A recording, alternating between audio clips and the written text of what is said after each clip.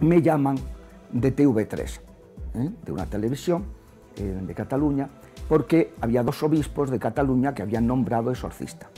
Entonces causó un revuelo tremendo, entonces me llamaron diciendo, oiga, es que a ver si ahora va a existir el diablo, porque, claro, hay dos, dos obispos que nombran exorcista, ¿esto por qué es? y tal.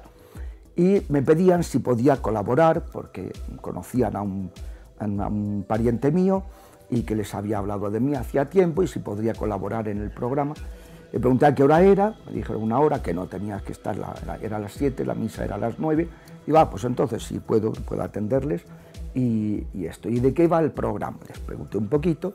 Bien, me llaman y empiezo a escuchar, no me dicen nada, sino que me ponen ya en antena eh, mientras entrevistaban a las dos personas anteriores. Era en catalán, pero bueno, yo he tratado con catalanes y entiendo el catalán, aunque no lo hablo, y me enteraba de lo que estaban diciendo. Y primero era uno de los sacerdotes eh, que habían nombrado. Y entonces, pues, que explicó, pues que sí, que le habían nombrado, que tal, bueno, el qué significa esto, todo eso. A continuación entrevistaron a un psiquiatra. El psiquiatra dijo que, bueno, que esto es desdoblamiento de personalidad, que esto no sé cuánto. Y, mm, y después me pasaron a mí. Y le dije, mire, yo antes de nada, de, bueno, aclararles que yo no soy exorcista de Andalucía, aunque estoy estos días en Andalucía porque estoy de vacaciones, pero no soy de, no, no, no soy ni soy exorcista ahora, ni estoy en Andalucía. Y, luego quería aclarar una cosa. Mire usted, a mí lo que no me gusta es el intrusismo profesional. Yo no me voy a meter en cuestiones psiquiátricas, porque no entiendo ni me interesa. Solamente lo que le puede interesar a una persona por ayudar a otra, pero nada más, para no equivocarte. Lo que sí quiero es que eh, lo que no me parece correcto es que un psiquiatra se entromezca en terrenos que desconoce. Y decir que una posesión es un desdoblamiento de personalidad demuestra una ignorancia supina. Y añadí, si una persona vomita una masa de barro tamaño calabacín, su psiquiatra, ¿cómo lo explicaría?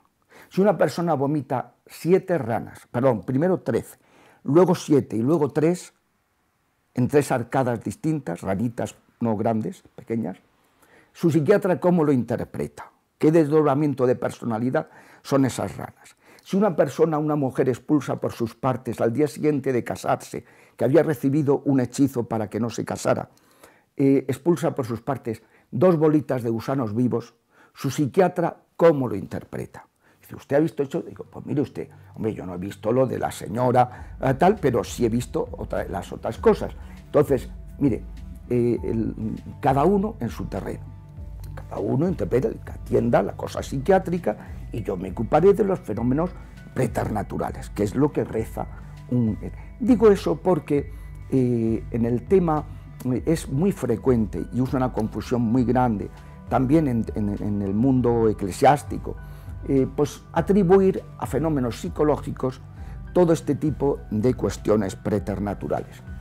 El ritual de exorcismos da unas notas mm, para mm, poder distinguir cuando va hablando de una aversión especial contra lo religioso, cuando va hablando de un conocimiento de cosas ocultas que no tiene explicación humana, eh, como me decía a mí un psiquiatra, le pregunté, ¿usted por qué me trae a esta chica?